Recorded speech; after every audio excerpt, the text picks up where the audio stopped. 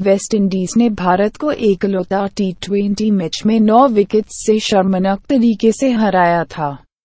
भारतीय बोलर ने कल वेस्टइंडीज के यंग बल्लेबाज ने ये साथ धोया कि भारतीय क्रिकेटर को रात में भी उनके छक्के याद आते होंगे। वेस्टइंडीज ने पहले तो टॉस जीत के भारत को बल्लेबाजी कराए। जिसमें भारतीय बल्लेबाजों ने रन तो बनाए, भारत ने 20 ओवर में 190 रन बनाए, जिसमें सबसे ज़्यादा दिनेश कार्तिक ने 48 रन बनाए 29 गेंदों में। कोहली ने उनतालीस रन बनाए 22 गेंदों में वाहिद धवन ने 23 रन बनाए थे। आज हार्दिक पंड्या की जगह ऋषभ पंत को मौका मिला था और अंत में धोनी केवल दो रन बनाकर आउट हो गया था।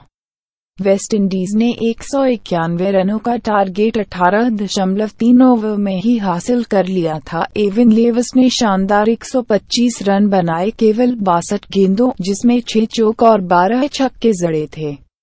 वेस्टइंडीज ने भारत को लगातार दूसरी बार टी ट्वेंटी में हरा दिया था। तो दोस्तों, इस खबर में इतना ही। क्रिकेट से जुड़ी बाकी खबरें देखने के लिए अभी सब्सक्राइब करें।